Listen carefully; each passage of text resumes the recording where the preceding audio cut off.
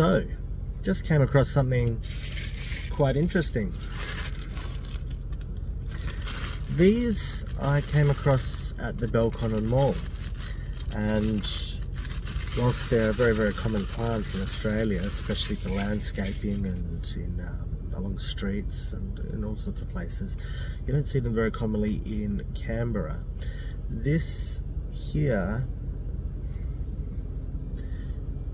is the fruit of a lily pilly.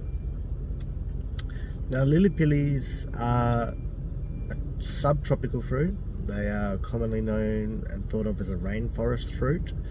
They are used extensively in places like Perth and Adelaide and Sydney and Melbourne um, along the curbs and verges and what's interesting about them is they're not meant to be able to tolerate the frosts in Canberra particularly well.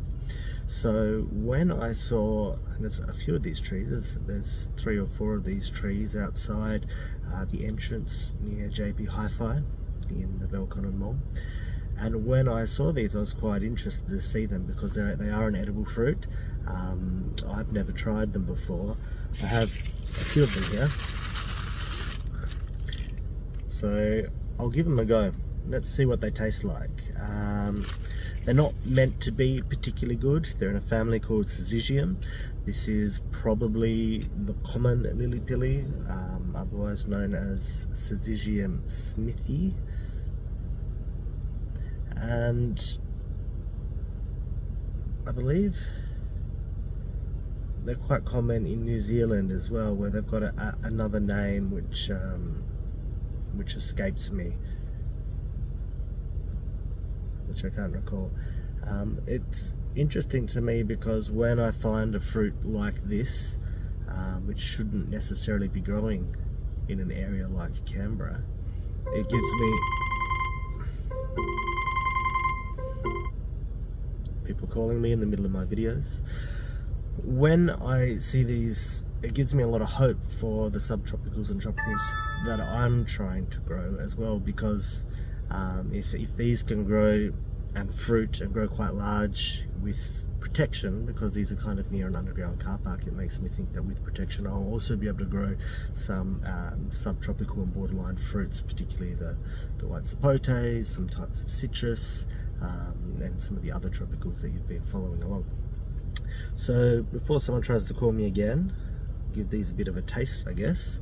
I don't really know what to expect about it but um, they don't have any smell. They're quite firm to touch. Um, they feel I don't know if you give them a bit of pressure they, they kind of they kind of give a bit. Probably see I put a little dent you know just by squeezing it then. But uh, let's give it a go I guess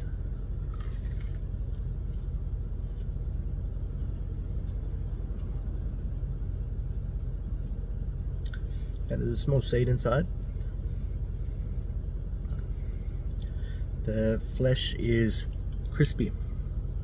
I don't know if you can see on camera there, but inside the cell walls are quite large. It's almost like a watermelon.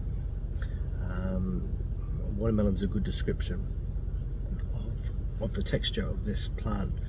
I'm to pull that seed out, or the rest, I guess.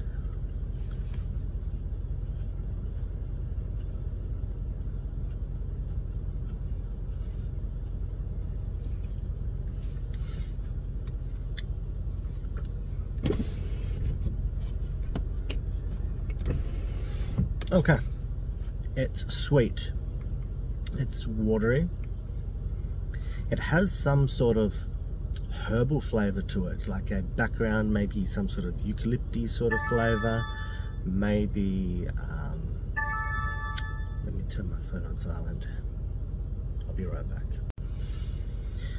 Okay, back. One of the joys of being in real estate, I guess, the phone never stops. Uh, never get a moment of peace to yourself. Even now, I'm running off after this between appointments, which is why I'm filming this in my car. I didn't think I'm going to have time. I'm going to be home quite late tonight, so I thought, look, I'll just chuck this together. Um, I'll give another one a try just to refresh my memory.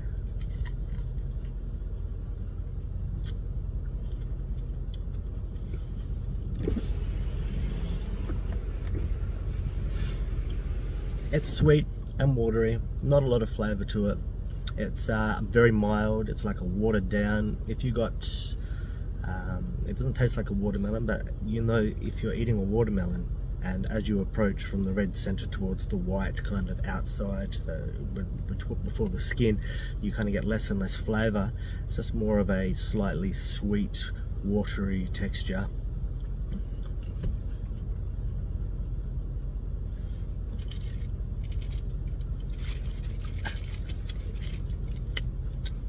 that last bit might not have been particularly right. There was a bit of astringency in that little section that I just ate, a little bit of sourness to that section as well. So it's clear that you need to get them when they're perfectly ripe or else um, uh, that, that astringency is not very pleasant. I didn't want to swallow that, that's for sure. Um, but I think overall, if you're in Belconnen and you want to try something different, um, those lily pilly plants, they're just outside um, the car park uh, at the JB Hi-Fi entrance. The trees are covered in um, covered in the fruits, which you probably saw just uh, at the, as I probably will cut in this video, the tree that I took it from. Um, I don't know how long they're going to flower for.